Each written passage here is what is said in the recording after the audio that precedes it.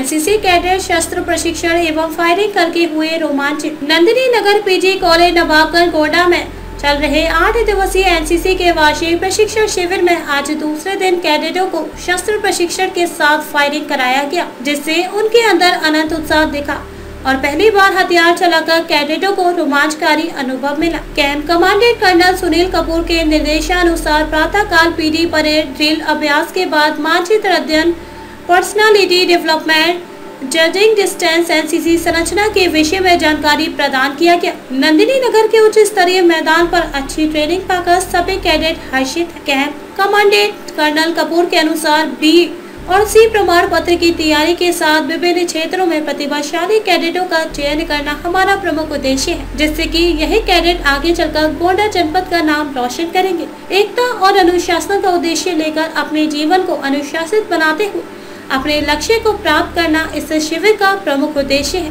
महत्वपूर्ण विषयों पर मेजर राजीव द्विवेदी एवं मेजर राजा राम द्वारा व्याख्यान दिया गया। महत्वपूर्ण विषयों पर मेजर राजीव द्विवेदी एवं मेजर राजा राम द्वारा व्याख्यान दिया गया। लेफ्टिनेंट नरेंद्र मिश्र और लेफ्टिनेंट हरिनाथ सिंह ने कैंप में अनुशासन व्यवस्था बनाया।